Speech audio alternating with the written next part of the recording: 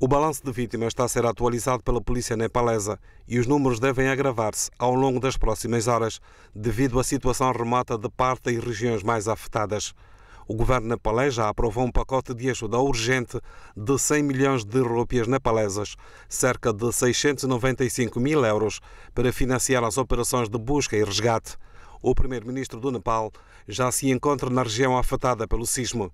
Operacionais das Forças Armadas, da Polícia do Nepal e da Polícia Militar dos distritos afetados foram mobilizadas para as operações de busca e resgate. Pelo menos cinco helicópteros e um avião estão a ser usados nas operações de resgate e para distribuir bens essenciais pelas regiões afetadas.